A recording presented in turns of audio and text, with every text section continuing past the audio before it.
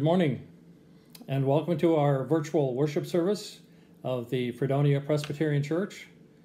We welcome all of you who are joining us electronically and spiritually, and we pray that we can praise God in our presence today, and we, we pray that all that we do will please God as well.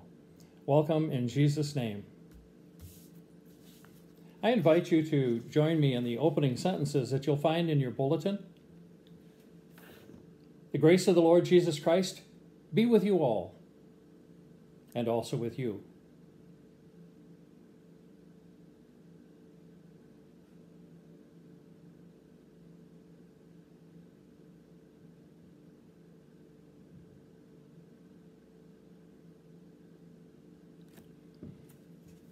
Friends, please join me in the responsive call to worship. Give praise to God. Praise the Lord, for it is God who saves. It is God who forgives. It is God who delivers. Give thanks and praise to the Lord. Let us welcome God to this moment and place and join in worship. Let's bow for a moment of silent confession.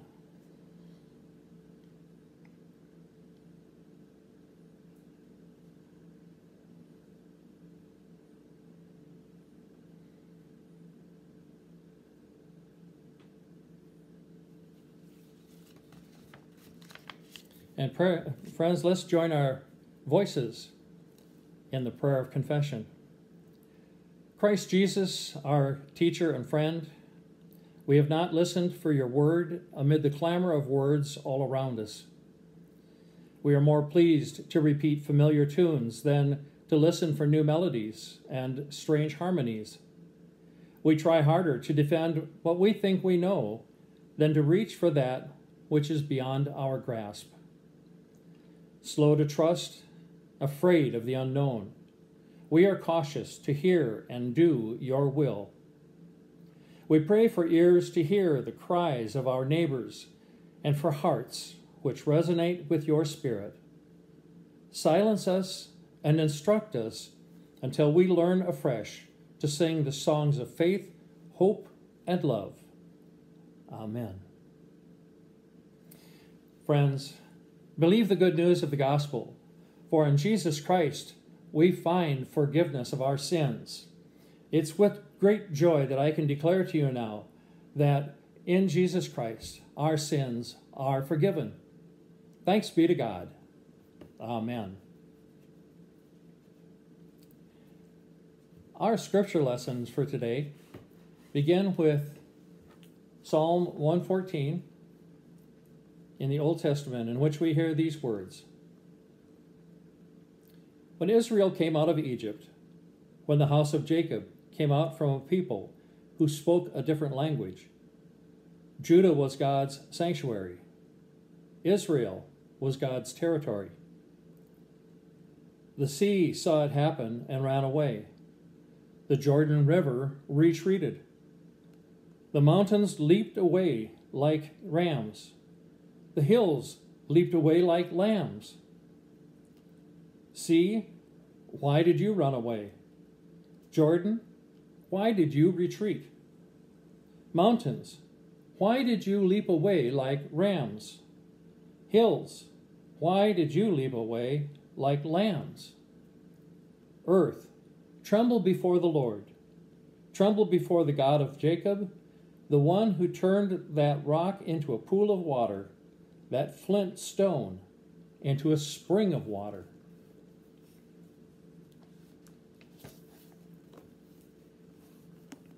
And our gospel reading comes from the Gospel of Luke, chapter 18, verses 1 through 32. Excuse me, uh, Luke 18, verses 1 through 8.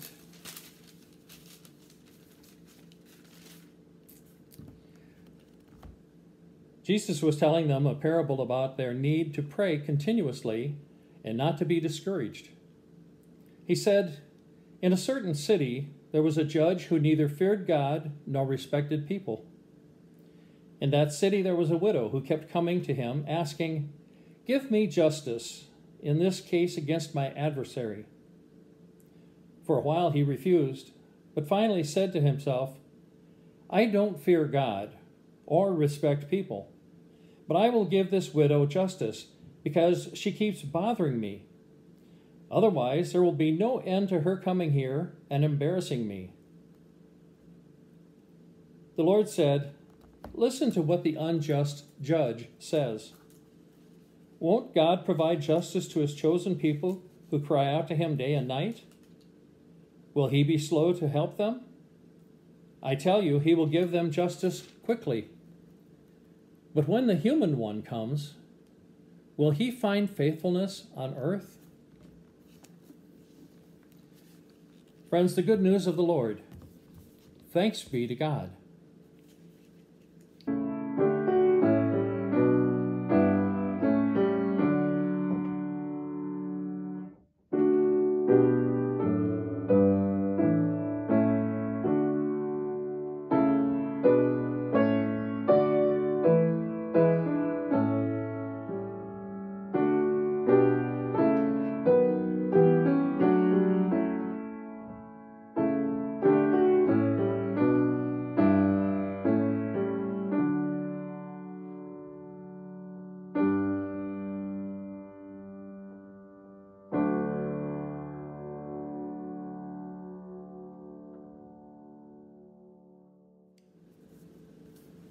In our parable for today, Jesus tells the story of the persistent widow to show his first disciples and us about our need to pray continuously and not to be discouraged.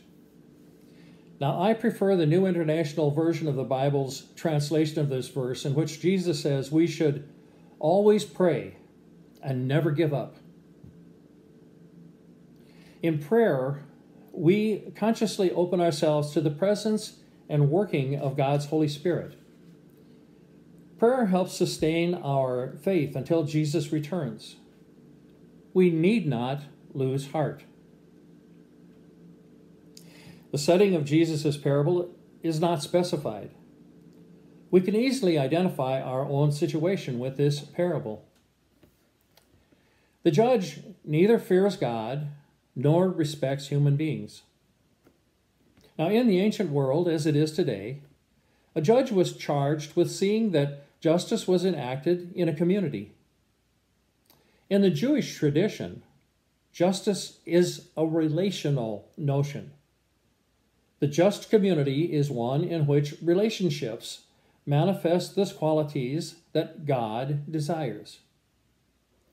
And the, ju- the justice that God desires particularly includes protection for the vulnerable and marginalized.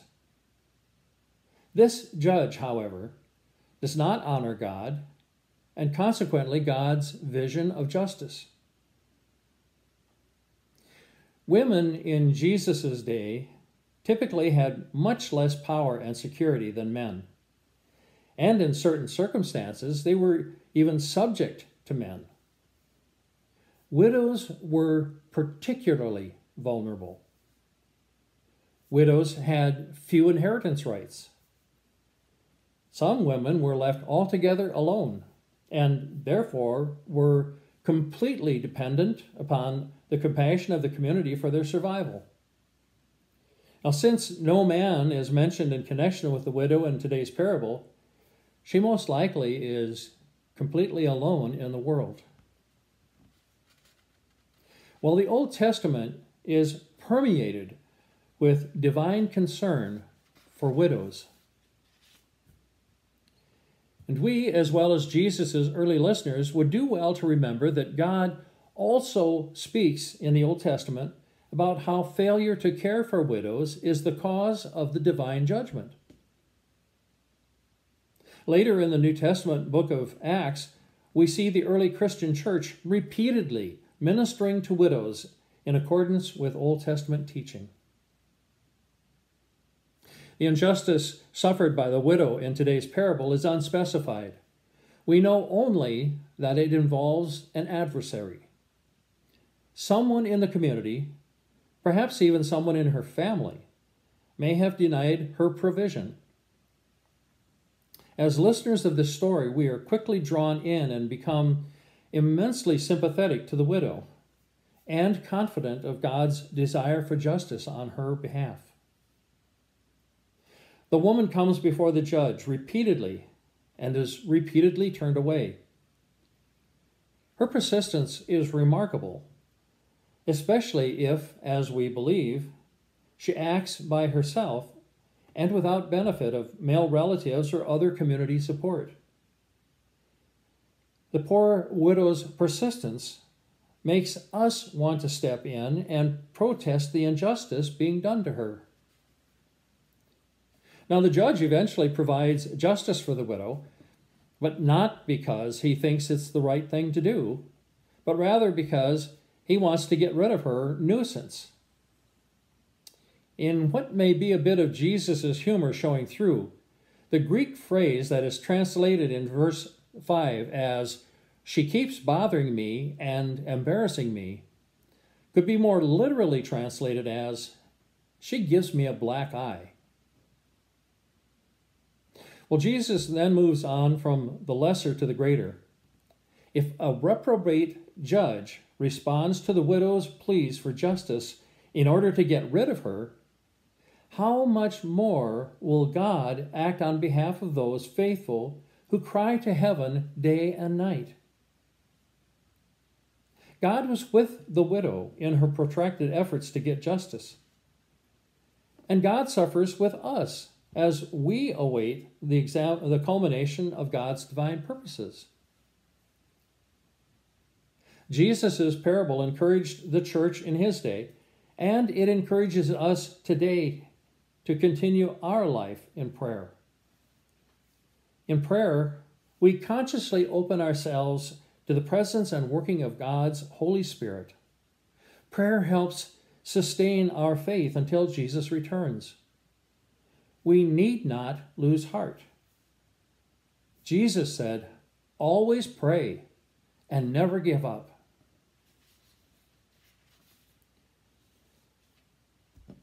Well, let's hear Jesus' parable retold in a more contemporary setting, in the hopes that we will be able to better grasp and more fully understand what Jesus was saying to us in his parable.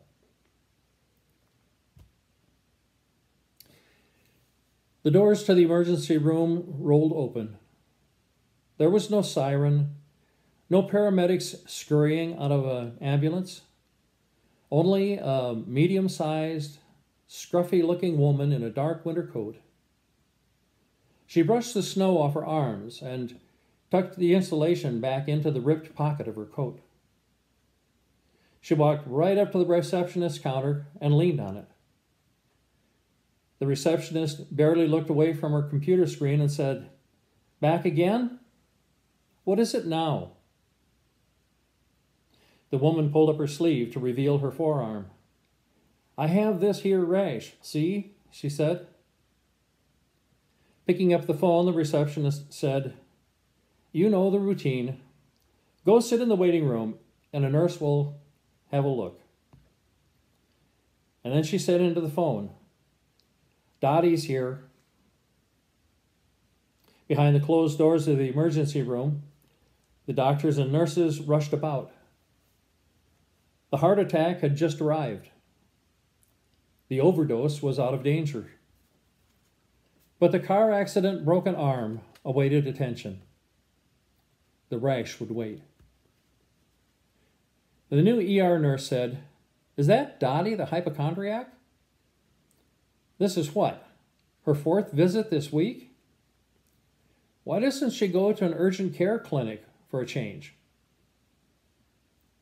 Another nurse said, They only take people with cash or insurance.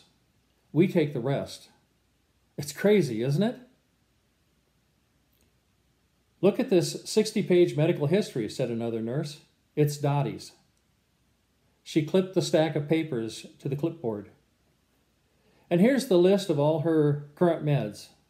Having this saves a lot of time. We don't have to get the same old information from her several times a week. The nurse turned and headed toward the waiting room where Dottie sat. The new ER nurse responded, Great. She demands attention, but doesn't even pay. Some nerve. Can't pay, said the second nurse. Poor Dottie. She has no insurance and can't afford her medications. But she still smokes. Smokes, said the, ER, the new ER nurse. You know, if she didn't smoke, she would have more money for medications. The second nurse looked at her and said, I don't know. She didn't qualify for breast cancer screening, so the cancer was pretty advanced when it was finally discovered. A double mastectomy, now chemotherapy, pretty expensive. A med tech asked, Have you seen those cute little flower boxes she makes? She sells them for $20 each, each, so surely she can pay for some medications. The emergency room continued to move at a frenetic pace, even when Dottie walked into a patient bay. She sat on the bed waiting to be seen by the doctor. After a few minutes, she got up and walked into the next patient bay. The man with a broken arm lay in bed crying. She reached out a dirt smudged hand and touched him on the arm that wasn't broken. What's the matter, hun? Dottie said to him.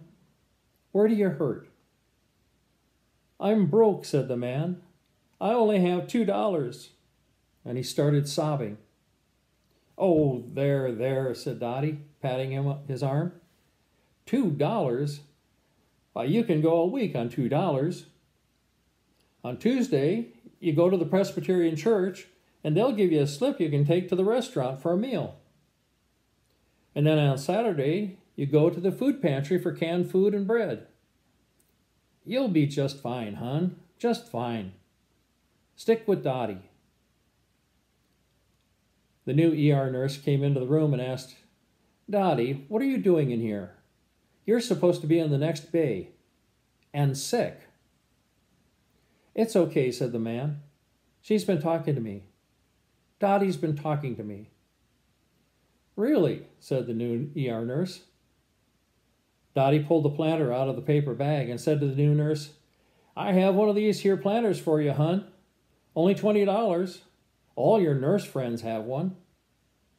Oh, no. Not this time. Maybe next time, said the new nurse. Now you need to get, get to move on and go next door. Next time. Yes, next time, said Dottie with a a laugh that erupted from the depths of her soul, the deep, crackly laughter of a poor, uneducated survivor, social worker, and hope giver. We need not lose heart, Jesus said. Jesus also said, always pray and never give up. Amen.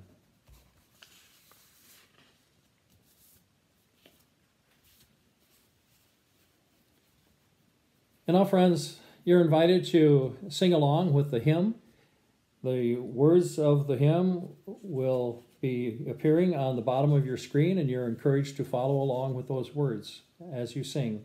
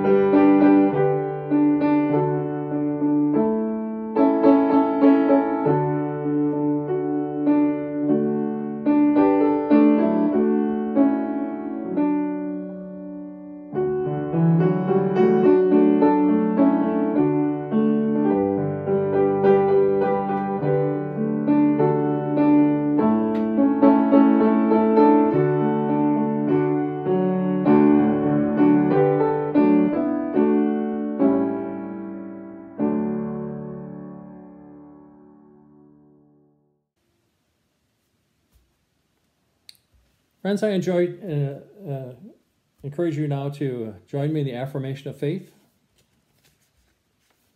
In life and in death, we belong to God.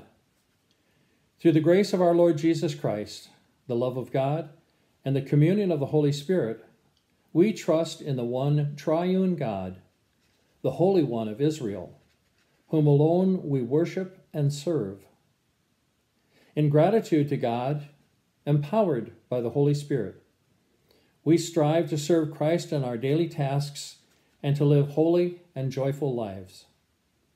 With believers in every time and place, we rejoice that nothing in life or in death can separate us from the love of God in Christ Jesus our Lord. Glory be to the Father, and to the Son, and to the Holy Spirit. Amen.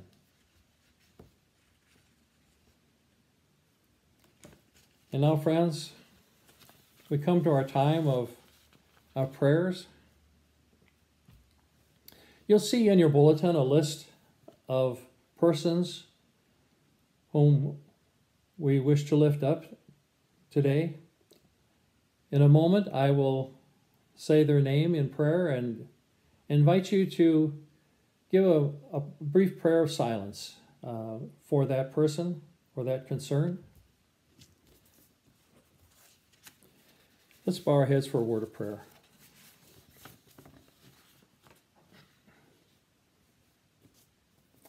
Lord God, we come to you in the midst of the chaos in our world and in our uh, nation and in our community.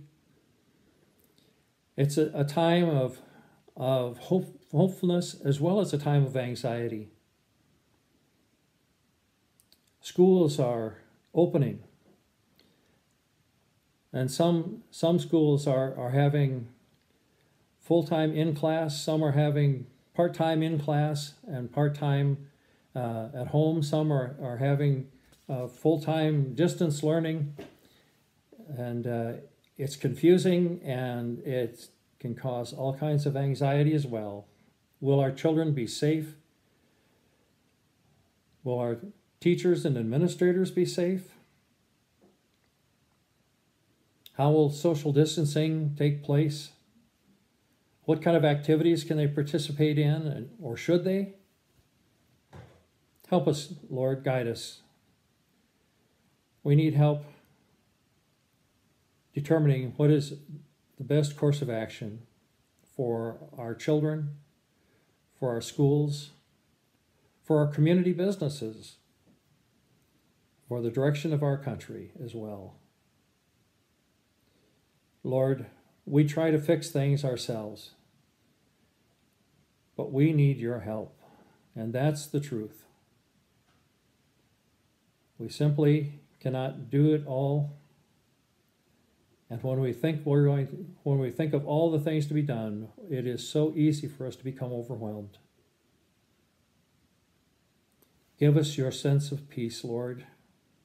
Center us with your Holy Spirit. Help us to focus on that which is necessary and helpful. And help us to prioritize instead of feeling like things are out of control. We pray these things for ourselves, for our church, our congregation, our community, our nation. And Lord, we would sure be grateful if you would help speed a vaccine for the COVID 19 virus. We want, we want it to be safe, we want it to be effective. But Lord, you know, we also want it to be pretty soon. Help us, Lord, and help those who are working to help our nation as well. Lord, we lift to you those persons on our list whose concerns are in our hearts as well and I will name them now Lori Fabritis, Janet Gerkensmeyer, Gina Waite Platt, as well as Josiah Robinette, Michelle Patterson, and Zachary Deloniak. We also pray for Amy Calm, Caleb Kaus, Judy Sumption, Lorraine Withington, and Dick Abram. We pray also, Lord, for Richard Staborski, Greg Foreman, for Donna Heinzman, and Tim Brackett, for Hazel Crockless. We pray for Travis Klaus. Lord, we lift to you Milo Willie, Joy Height,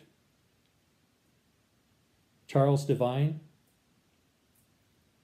Barb and Dick Skinner, as well as Caitlin Bartlett.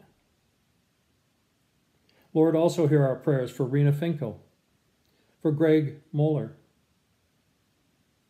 We pray for Dick Ackley, as well as Rachel H. Lord, we pray for Kim Riceco, May Lai, Dick Watt, Reverend Early Waller, and Tom Withington. And Lord, we are mindful of the needs of the Topaza Center for Orphans of the Church of Jesus Christ in Madagascar, as well as the Presbyterian Education Board in Pakistan. And we ask, Lord, that you would minister to the needs of the people in those places as well. Lord God, we are trusting you for blessings to abound in our lives and in the lives of those we have lifted this day, and also for those whom we may not have mentioned, but who are still upon our hearts. And so, Lord, we just lift these prayers to you now. And we do it with confidence knowing that you love us and that we can ask these things through Christ our Lord. The one who taught us all to pray, when he taught us to pray, saying, Our Father, which art in heaven, hallowed be thy name. Thy kingdom come, thy will be done, on earth as it is in heaven. Give us this day our daily bread, and forgive us our debts, as we forgive our debtors and lead us not into temptation, but deliver us from evil. For thine is the kingdom, and the power, and the glory forever. Amen. And friends, we need to pause for a moment and just remember how gracious God has been with each of us in matters small and great. And know that God loves us so much and still cares for us. And the work of God continues through our church and others. And so let's pause for a moment of thankfulness. And as we pause, I, I will say a brief prayer, but I would also encourage you to remember to continue sharing your gifts and tithes and offerings with the Lord through our church. Let's pray. God, we are so thankful for the many, many things that you have done for us and with us, and we pray for your sustaining grace to continue to uh, lift us up, not only as individuals, but as a body of Christ and as a community of faith and as, as members of, a, of the greater community as well, Lord. And we pray, Lord, that we can uh, show our thankfulness for what you've done for us by sharing with others in whatever ways we can. Not, not simply to make ourselves feel better, but so, but so that others might see you in our lives and be blessed and strengthened. In Jesus' name. For it's in this strong name we pray. Amen.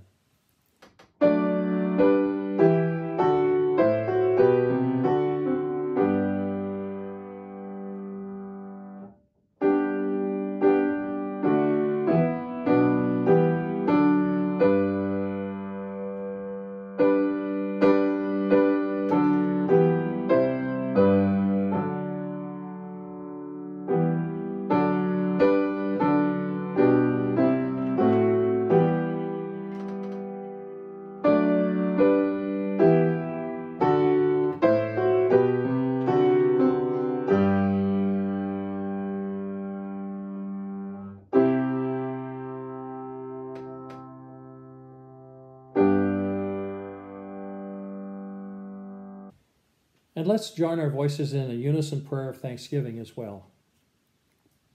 O God, who is our strength, you have protected us from those who would seek to oppress us. You have shielded us from those who would seek to destroy the good gifts you have put in us. Your love and power never fail. Thanks and praises to you, our safety and stronghold. We exalt you, O God, majestic in holiness, for there is none like you. Amen.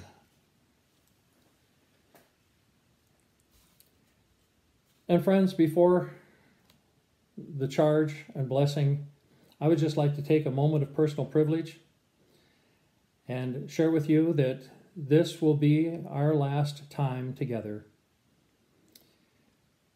In, a, in a, about another week, my wife Judy and I will be moving to Colorado Springs, Colorado.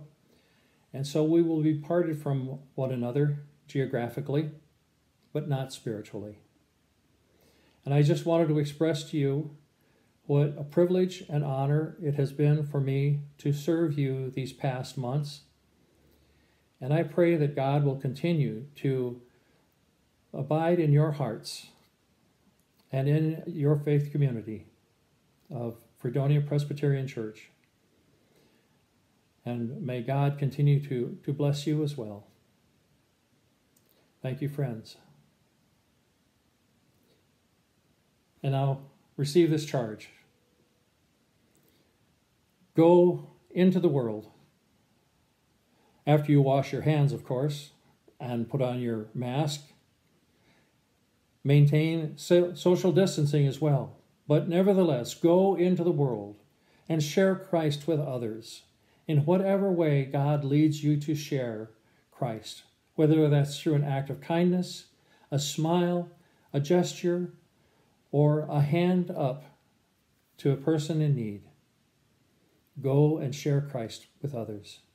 And go now in the name of the Father, and of the Son, and of the Holy Spirit. Amen.